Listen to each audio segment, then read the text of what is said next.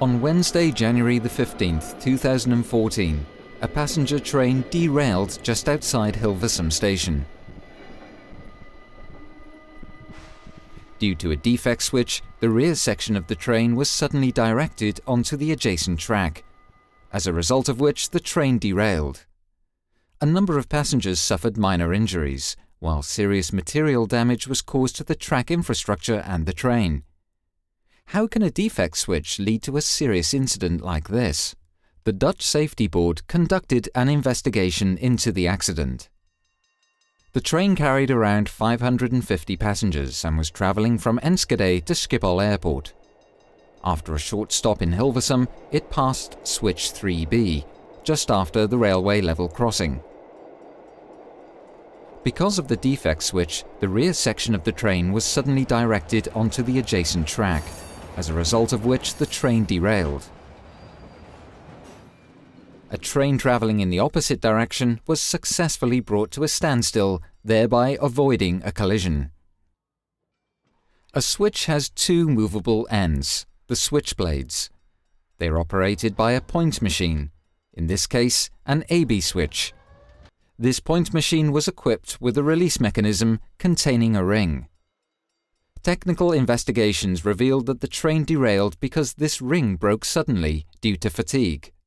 First of all, the ring revealed finishing defects, making the ring more susceptible to fatigue. Furthermore, the fatigue fracture arose because over a long period of time, the ring was exposed to additional forces coming from passing trains hitting the switchblades with their wheels. This hitting action caused the switchblade to oscillate, thereby applying additional forces to the point machine and to the ring, for which it was not designed. The flangeback contact of the wheels was caused by poor maintenance.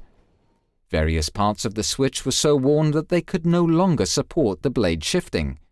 As a consequence, when shifting back and forth, the switchblade experienced so much resistance that it remained too close to the rail. This in turn meant that the wheels of passing trains regularly scraped along the switchblade. When the ring finally broke, the blade worked loose causing the train to derail. The wear to the switch did not occur overnight. Maintenance could have led to repair. This was not the case. The investigation revealed that ProRail did not see any safety risk in flangeback contacts, and as a consequence did not consider it necessary to prevent them. Insufficient lessons were learned from several previous train accidents. For example, a scenario comparable to that in Hilversum occurred in a train derailment in 2007 in Grayrigg, England. If the knowledge of this serious accident had been utilised, the parties could have known that flangeback contacts represent a safety risk that needs to be managed.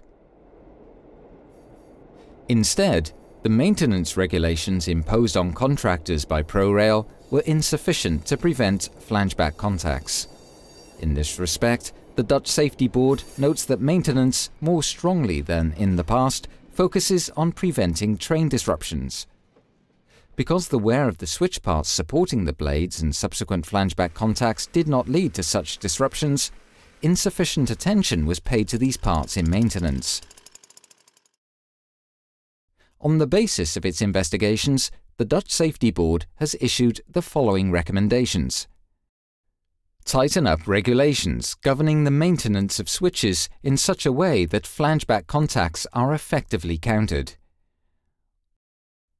Organize railway maintenance in such a way that the safety risks are explicitly and demonstrably managed, irrespective of other interests, such as availability and costs ensure that relevant information is available to the various chain partners, and encourage active knowledge sharing on incidents. ProRail and the maintenance contractors must together ensure an up-to-date and complete picture of the technical condition of the railway infrastructure.